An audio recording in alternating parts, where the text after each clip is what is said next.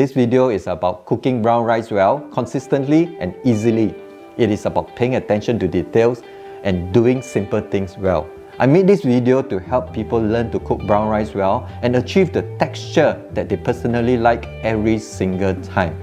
Hi, I'm Dr. Chan. Many people know me as the Habits Doctor because as a medical doctor and coach, I prescribe train and coach people to change their eating habits for better health. And one of the very common challenges that many of my patients and coachees face is in switching from white rice to brown rice. Especially when they are living alone or are the only ones in their household trying to switch to brown rice whilst the rest of the family are still sticking to white rice. So they find it very difficult to cook brown rice in small 1 to 2 percent portions and often the brown rice that they cook would also not turn out as nice as the white rice that they are a lot more familiar with.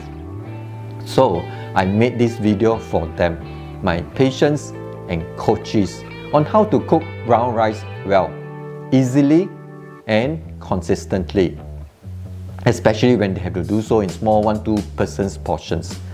So this is the brown rice that I have just cooked as shown in the video I cook 200 gram of brown rice, a very small portion that's probably good for about 2 persons, using a 1 to 1.8 rice to water ratio, cooked in this very small but simple rice cooker. The texture is just nice for me. I like it, uh, but everybody's palate and preference is different. So if you like your brown rice a little softer or a little firmer than this, just adjust the water ratio up or down accordingly the next time you cook it. But try to keep to the same amount of rice and use the same rice cooker as before. Right? Focus first on getting the formula that will get you the perfect brown rice right, that you like.